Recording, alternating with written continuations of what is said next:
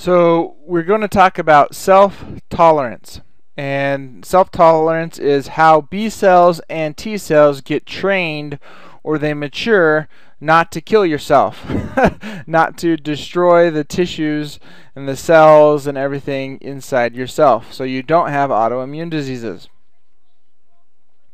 So first of all, there is central there's central lymphoid organs uh, there's the thymus for the T cells and the bone marrow for B cells. And that's kind of a mnemonic to help you remember that. T and T and B and B.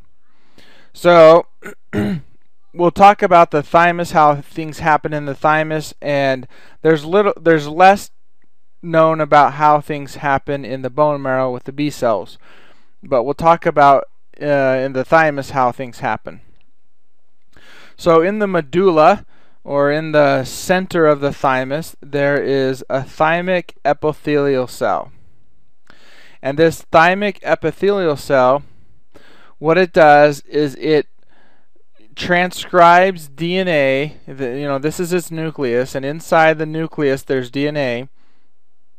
This DNA gets um, transcribed and then translated into proteins, and a protein's built, and then this protein is hoisted up on top of this major histocompatibility complex. And in the case of this thymic epithelium, it creates, it, it, it builds proteins that are self-peptides. And then you have a T cell here, and if this T cell reacts to this uh, self-peptide, there's a process that undergoes and the cell undergoes apoptosis or apoptosis or however you like to say that word. Um, I've heard it say it, I've heard it pronounced several different ways.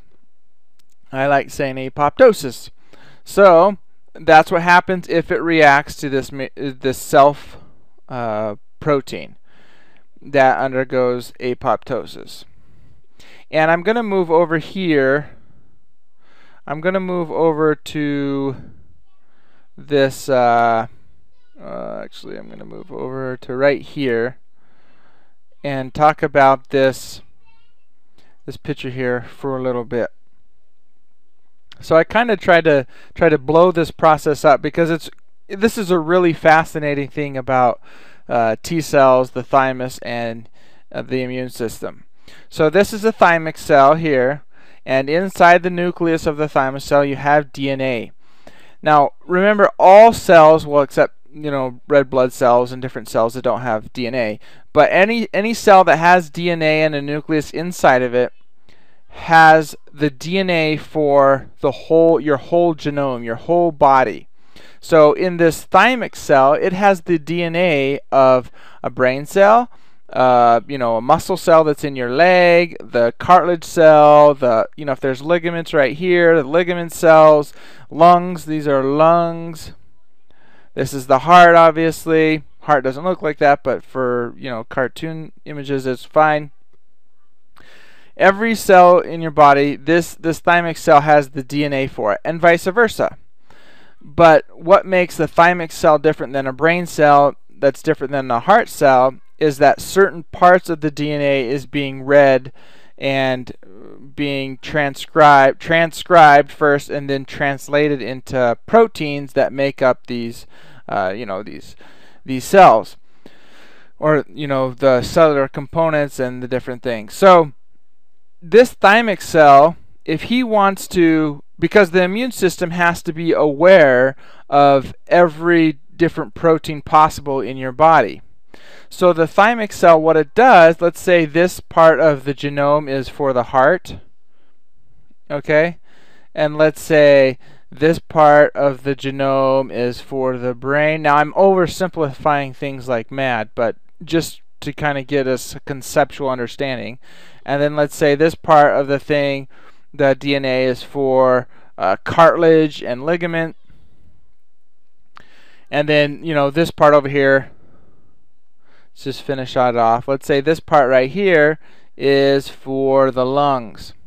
So what's going to happen is the DNA is going to be read and proteins are going to be made that are in all of these locations every location all over your body and these little proteins that are going to be made uh, actually they're made out here in the cytoplasm they they get made and then they get shipped up to this major histocompatibility complex and they get plopped on right there every single type of protein from all of your body is made by this thymic cell and then placed up here on this major histocompatibility complex type 1 and the T cell, which is the CD8 plus cell, reads, reads the major histocompatibility complex type 1.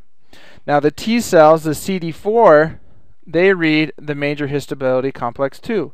So let's say there was a brain pro oh sorry out here there's a brain protein made it gets shipped up here gets plopped up here on this major histocompatibility complex type 2 and this T cell CD4 plus cell reads it. Now, if these cells respond to any number of these proteins that are displayed on these uh, major histocompatibility complex, then they undergo apoptosis. They, they let's go back. Oops, sorry. Let's go back to this picture. Is they die. They die because you don't want cells that react to yourself. These proteins over here that react to yourself. You don't want them in your bloodstream because when they come across uh, you know, let's say a part of your cartilage or a ligament or something, a little protein that has to do with your ligament, they're going to attack it. And then that's what autoimmune diseases are. But we'll get to that. So they undergo apoptosis.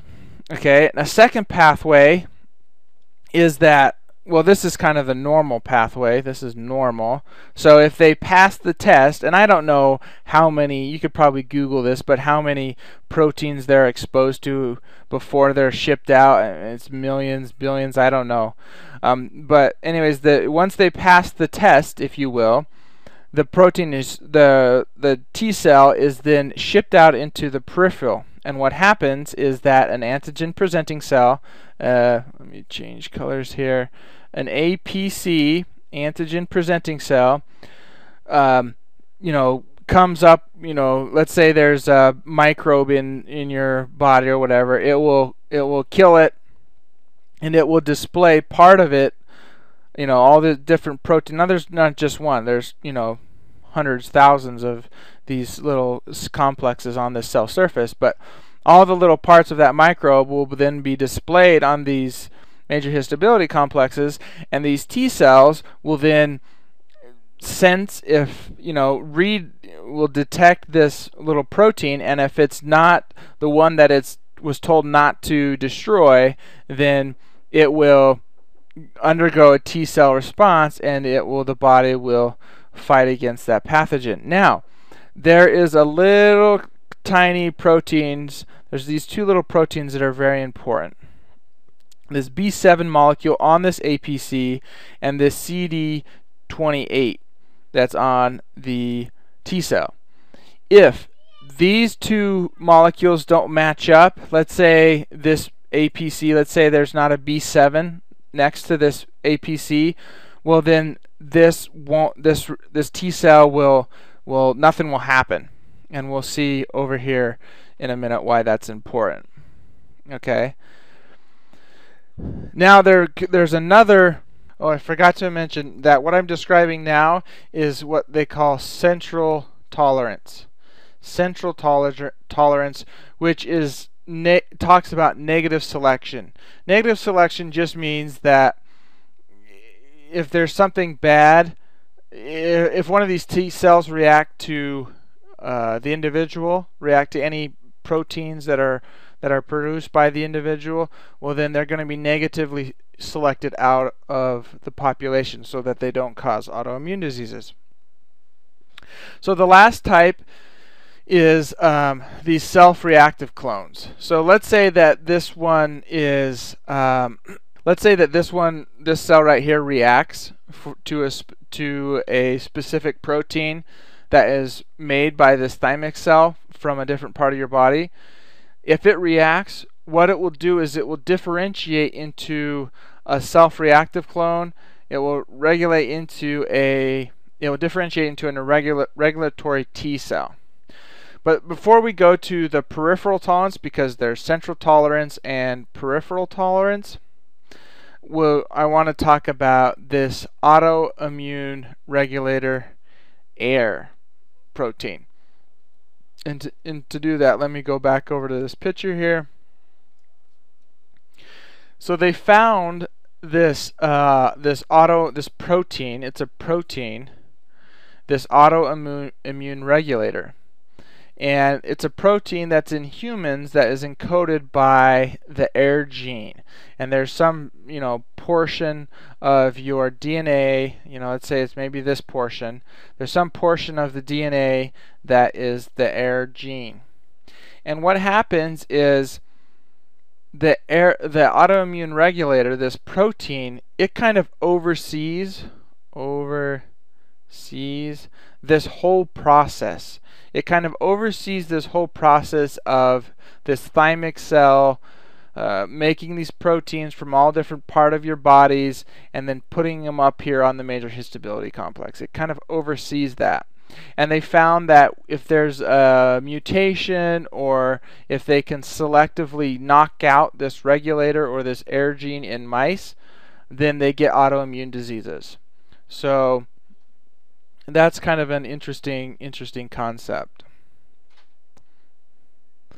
So um, so now that we've talked about central tolerance, let's talk about peripheral tolerance. And you can kind of guess that this is kind of a crude, you can kind of see here, this is a kind of a crude process. You know, this whole maturation of T cells and B cells. This this process is kind of a crude process, and there's a there's a term that's called slippage.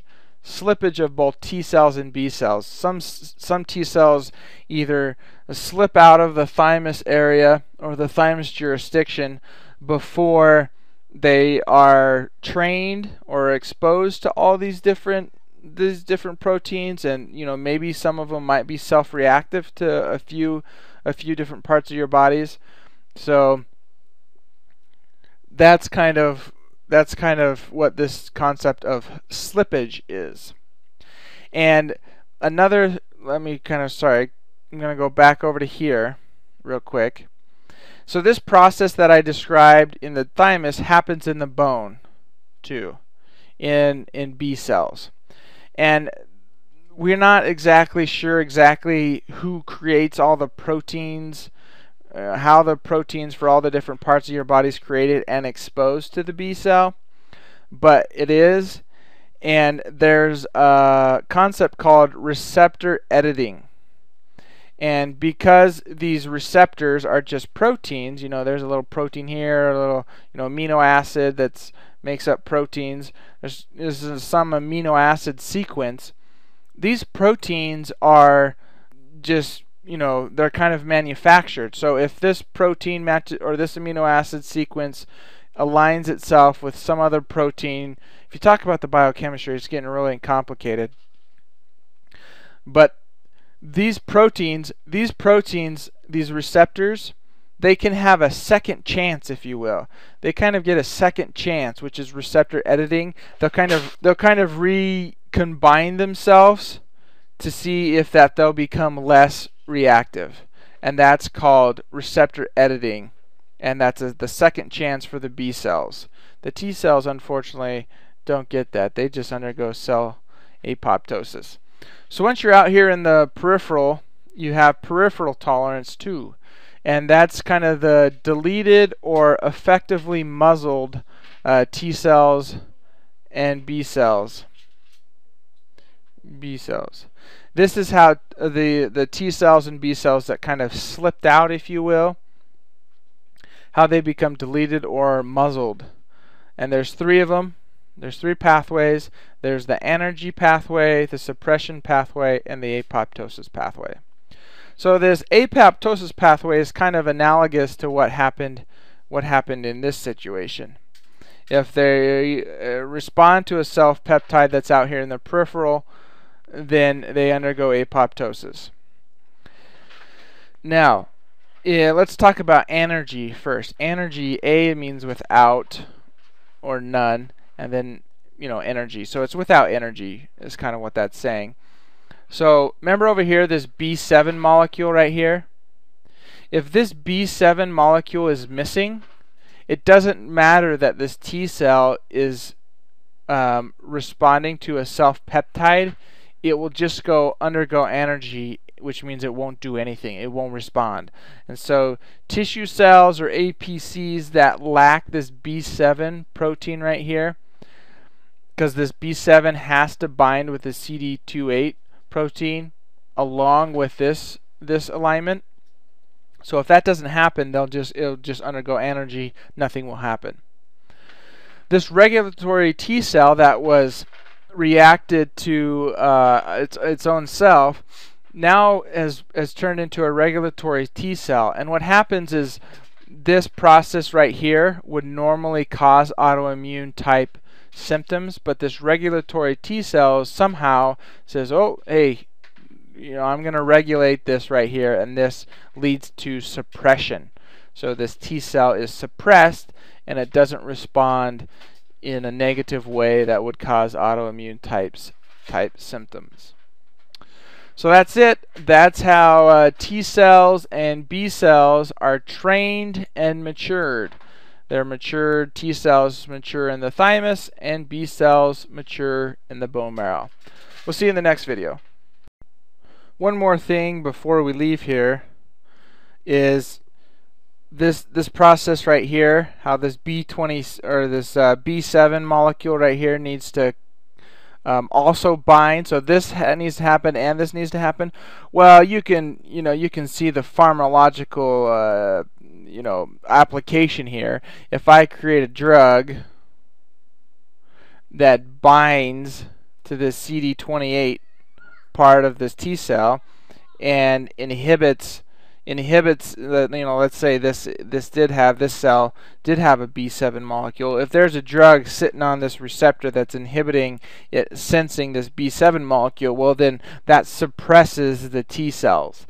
And so that is one of the way this this drug these drugs mechanisms happen. Okay we'll see you in the next video